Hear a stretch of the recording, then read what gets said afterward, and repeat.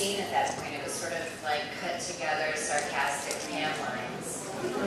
And I just thought, how is the most dry, harsh way I could say this? And then... You nailed it! Right? yeah, she did. That's she got the part, right?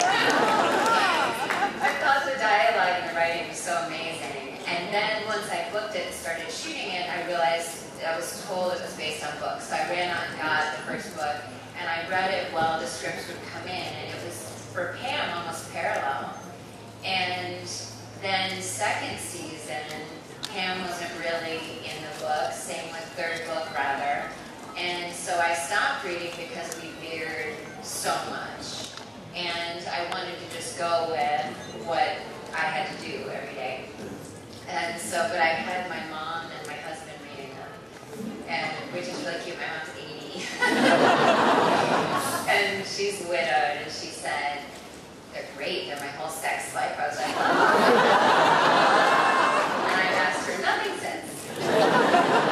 I, I, you should all know too. We often either at these things or interviews for viewing. If you were in your part, what part would you like to play?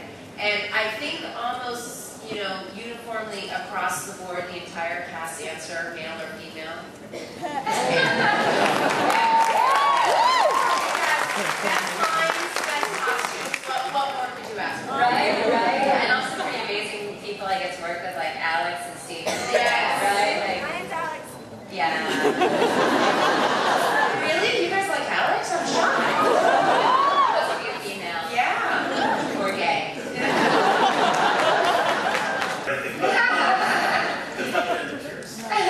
Um, but, Or just depend on what room but like, are, are you, have you noticed any particular differences between two fan bases? And are you concerned they might fight over you? Um, you know, I it's so awesome because Maleficent is such a cool character, you know.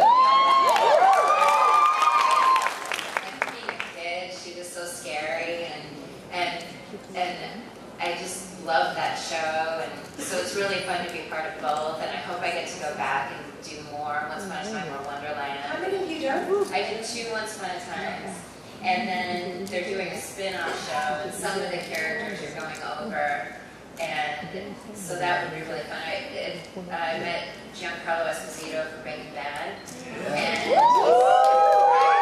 amazing. I just got to the end of season two, so I just saw him come on the screen. You have no idea what's in store. Hi, I'm still watching. I'm so excited to see because everybody says that. Yeah. In fact, on our set, uh, Simon, our cameraman, and Alan Ball were all watching Breaking Bad, so they come in and go, "Holy shit!" and then I was at a restaurant, and this guy came over to me and he said, "I'm a writer for Breaking Bad, and I'm proposing to my wife with actors saying, "Will you marry me?" So I asked on his phone, "Will you marry me?" Whoever the, the you know, and I said, "You know that on our show, everyone talks about your show." He goes, "On our show, everyone talks about your show." it was so funny, but Giancarlo on Once Upon a Time, I said, "Yeah, I think I'm." I'm behind on the show, but I think I'm like a, an angry gas or something right now, like I'm once upon a time in, prison. He goes, oh yeah, yeah. Uh, how long you been there? I said, I think it's like a season and a half. Yeah, yeah, I was in the mental hospital for a year. He goes, you can come back.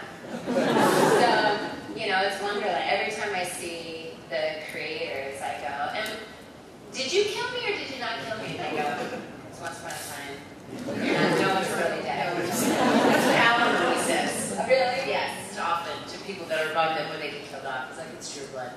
No one ever really dies.